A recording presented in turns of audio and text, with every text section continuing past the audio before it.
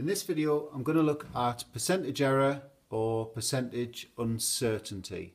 So in chemistry, we use a lot of different apparatus to measure quantities of substances.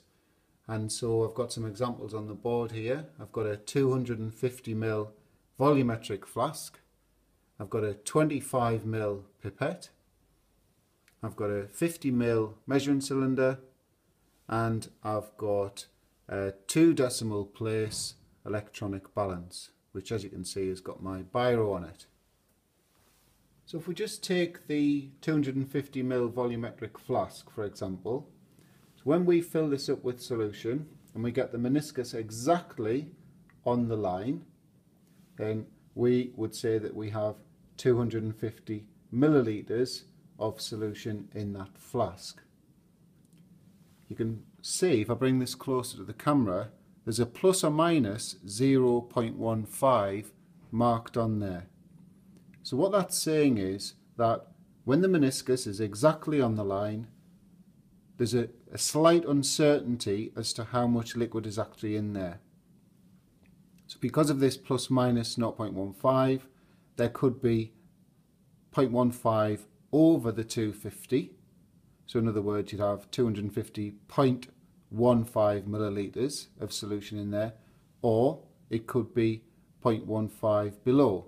So you'd have 249.85 millilitres in there. So I've had a quick look at the other two pieces of apparatus here and found out that the pipette is saying plus or minus 0.03 millilitres and the measuring cylinder plus or minus 1.0 millilitres. So these three pieces of apparatus have actually got the uncertainty marked onto the equipment. The balance, on the other hand, doesn't. So there's a sort of general rule of thumb to accommodate that.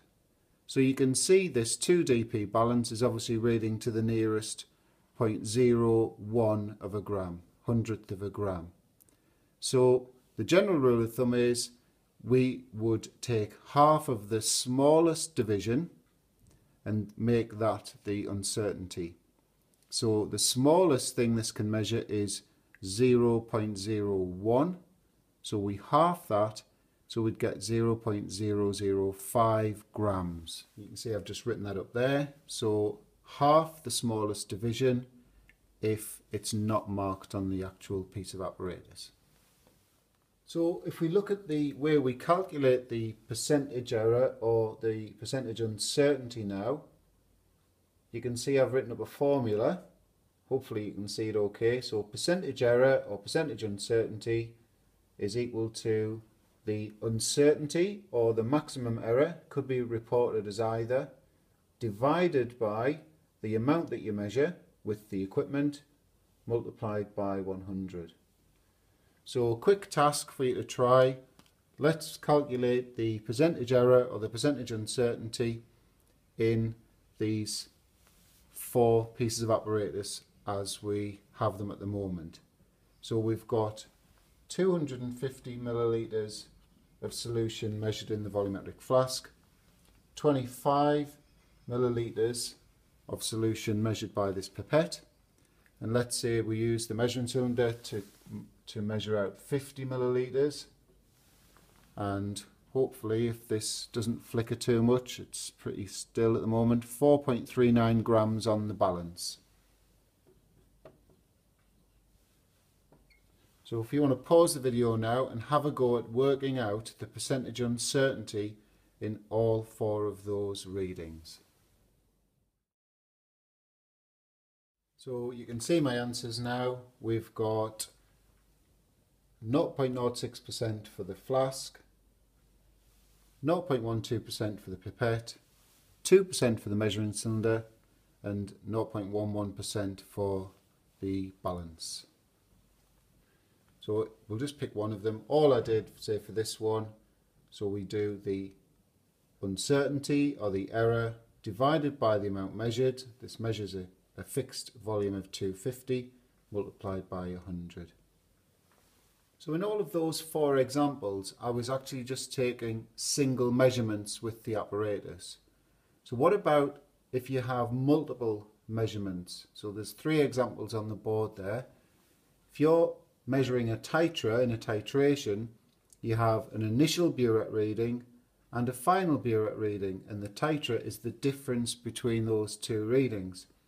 So essentially you are doubling the error because you're using the burette twice to, to do the measuring. Temperature changes in reactions. Again, you have an initial temperature and a final temperature. And again, you've got two readings, both with errors associated. And the same with mass changes in chemical reactions. So you measure, say, for example, the mass of a crucible at the start, heat it up, measure the mass again. What's the change in mass? Again, you've got two mass readings to get the change. So because all of these involve two readings, we simply double the error. So to check you've got that, we'll just have a look at this question here. You can have a go and then I'll go through the answer. Burette has a maximum error of plus or minus 0.05 cm cubed in each reading. Calculate the percentage uncertainty in a titre of 23.65 cm cubed. And there's my answer. So I've just put the numbers into this formula here. The, there's the maximum uncertainty in the burette. I've doubled it because the titre has been arrived at from two measurements. So the uncertainty divided by the amount measured multiplied by 100 gives me 0.42% error. So we'll finish off the video by looking at a couple of ways in which we can reduce the error. So the obvious thing to do is to use more accurate equipment. So for example, that 2 dp balance I was using the, in the video, if I could afford to, I would use a 3 dp balance, but we can't stretch to that, so we were stuck with the 2 dp balance. So how else can you um, reduce your error? Well, the other way is actually to use larger quantities of chemicals in your experiments. So I'll just do a quick worked example of how that works and then that'll be it. So I'll just use this measuring cylinder to make this point. So it's the one I showed at the start. It's got the plus or minus one milliliter um, uncertainty. And let's say we're going to use it to measure out 30 milliliters of uh, acid, for example. So plugging those numbers into the formula, we get an error or percentage error of 3.33%. And you can see in green, I've simply increased the volume to 50 milliliters. And when you put the numbers into the same formula, the error drops to 2%. So you can see that if you scale up your experiment, you use larger quantities, you actually reduce your errors. So if money's no object, you can use more accurate equipment. If not, use larger quantities.